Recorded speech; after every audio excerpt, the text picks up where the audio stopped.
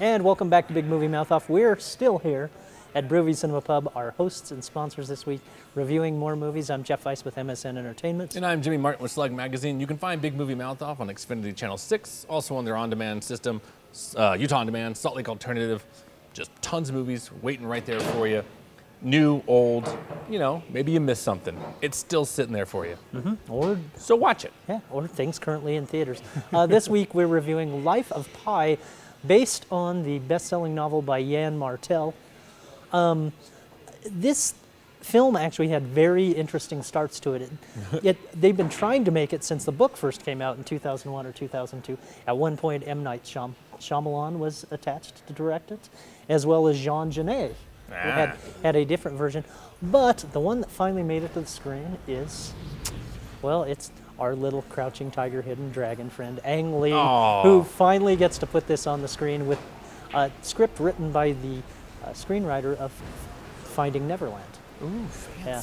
Uh, sort of follows the structure of the book. Uh, it, in this version, Yann Martel uh, is a character having the story, interesting story of an Indian, Pi Patel, tell him of his incredible adventures, including being uh, orphaned, shipwrecked, with nothing for companionship but a Bengal tiger. Oh.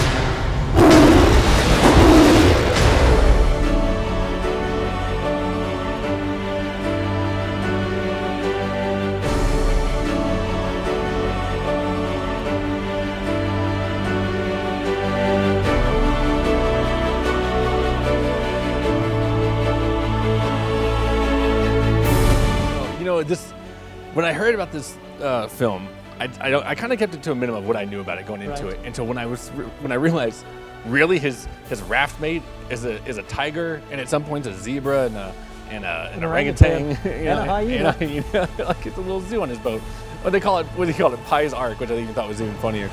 But uh, gosh, I mean, they really do make you believe that you could survive on a raft with a tiger. Absolutely. At, at times, he builds his own little raft. Oh, yeah, to stay away. because sharing space with a tiger, hungry tiger, is sometimes not the best of circumstances. they get a little territorial. yeah, hyenas aren't so good either. Yeah. However, you, sometimes you may have an orangutan to slap them back. Yeah. Well, you know what? And you said it's an Ang Lee film, and from what you know, I think we've all learned from Ang Lee films.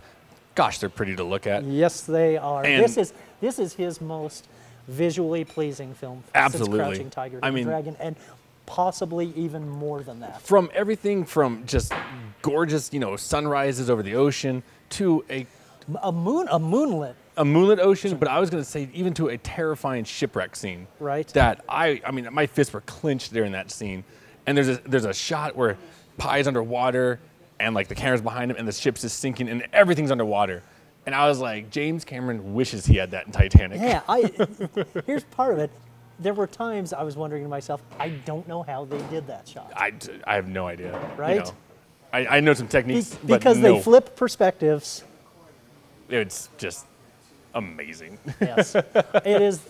By the way, it's it's playing in a lot of screens in 3D. It's also playing in 2D.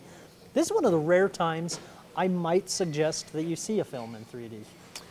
I will agree with that. Yes, And, and Uh, I'm in- not in- a big in- fan of 3D by any means. In particular, because of those water scenes. And there's there's some scenes where I mean no joke I was sitting there watching it and it caught me by surprise because most 3D I don't I don't I almost want to say I don't see it Right.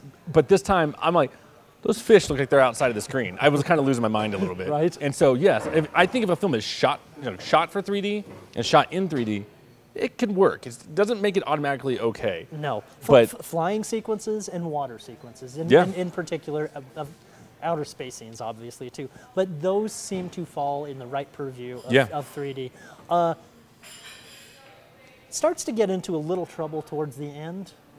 I think the last 20 minutes And Yes. and I don't want to ruin anything because there's some little twists and turns, you know, here and there, uh, which makes me feel- laugh. it What- Starts to feel a little prolonged and a little rushed. Yeah, well, it, it, it's too bad that it feels a rush because I would have almost cut off the last 15 and just kind of ended it. And it, I would have been fine with it because it almost feels like you got to the finish line and, and instead of taking that last step, you sit there and, and kind of jog in place for a little bit. Uh, I, And that's where I'm like, just finish it. Like, let's, let's you know, because it was a great journey. it- absolutely, and the thing about it is, it's a smart, smart movie in a lot of ways. It, the way it discusses God and religion Mm-hmm. and man's relationship to the cosmos, a- as well as uh, the meaning of loss.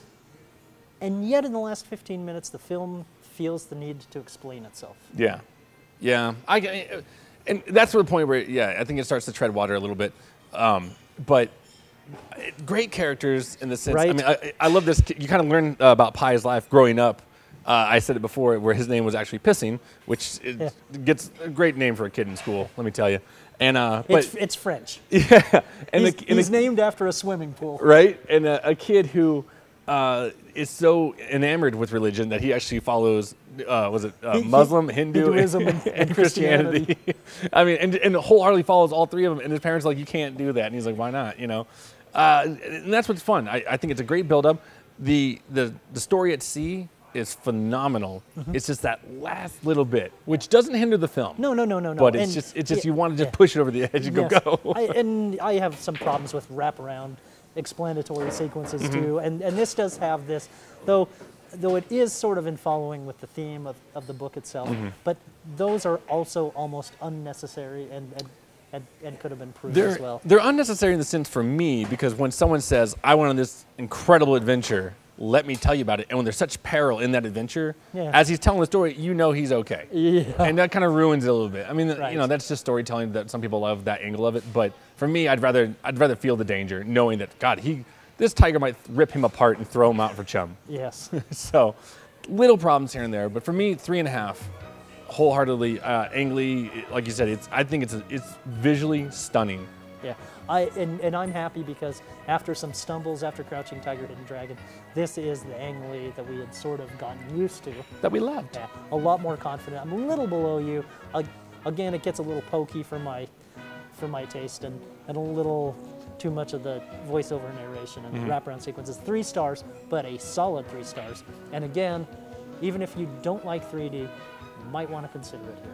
Yeah, and, and, and this is, uh, again, a film. We are now in award season, and this one will surely show up for some awards. If it does not show up for best visual effects it has to and be visuals. cinematography, yeah. then they are doing Then a I grave quit. mis- a grave, grave misjustice. All right, well, that's going to do it again for another episode of Big Movie Mouth Off. So, like we said, go check out The Life of Pi, uh, opening pretty soon, I would say. November And- 21st. Ooh, there you go. And uh, we will catch you next time. See you then.